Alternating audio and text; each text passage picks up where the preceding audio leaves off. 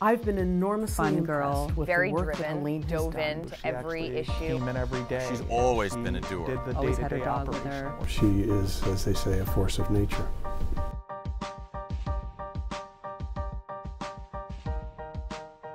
I've always loved animals. I, I can't remember a time that I wasn't smitten by anything with four legs. It's easy for me to uh, help them and give them a voice because they mean so much to me. We were dating and we were driving down 95 heading towards Philadelphia. We were passing through North Philadelphia and all of a sudden she sees a dog walking along the breakdown lane.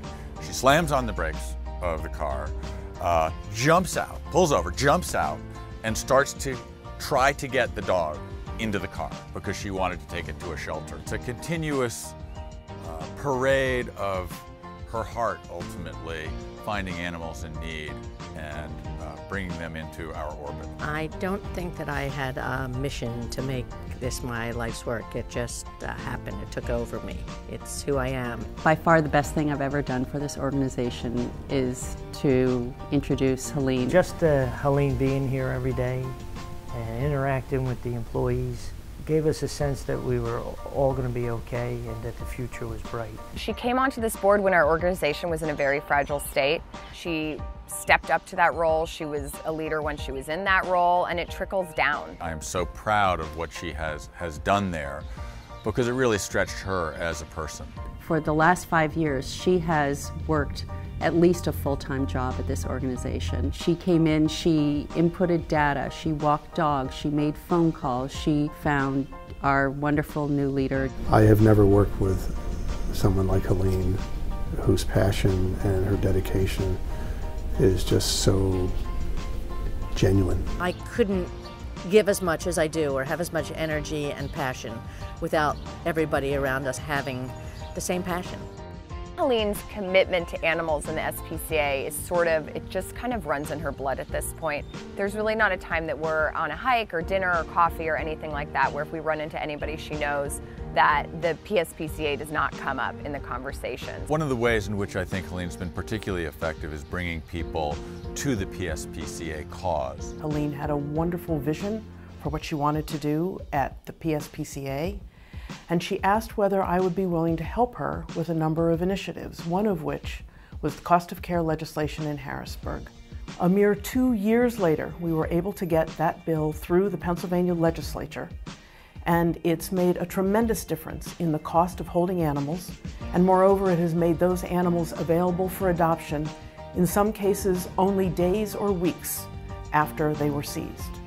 Helene's legacy at our shelter, I don't know because she's not done yet. Helene's work and commitment with our life-saving program has truly changed me, and it's actually reaffirmed my commitment uh, with her passion, bringing people in, um, in efforts to finding our animals forever homes. I think Helene's great asset is always thinking about the future and where we go.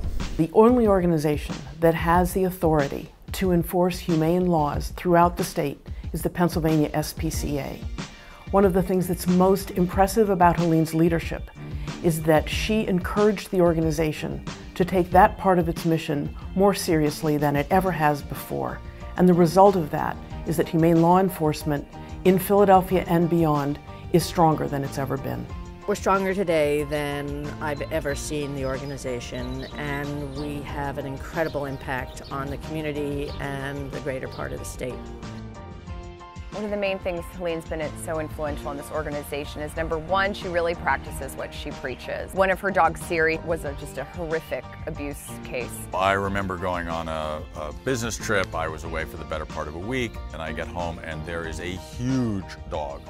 Siri. He was lying on the bed where I usually sleep. Siri is a giant beast and really needed a lot of medical attention and care. And lo and behold, that is her dog. I don't think we can ever say enough about what Helene's done to save this organization. She doesn't need GPS, or GPS for the Pennsylvania SPCA is, is really in her heart. All it takes is a conversation to let people know what we need, and they're willing to help. But you have to speak up, and somehow I've been able to do that, speak up.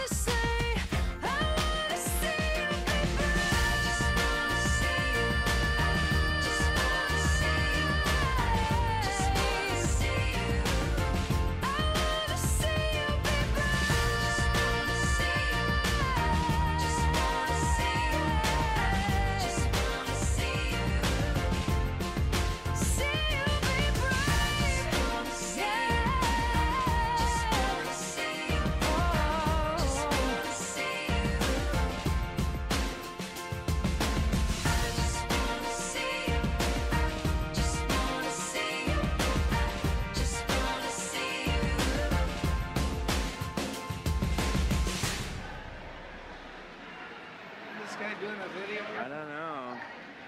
Did he take it like the wrong pill? Maybe he took the wrong pill.